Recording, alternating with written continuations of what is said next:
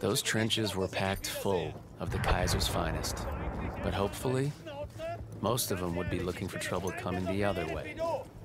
Hopefully.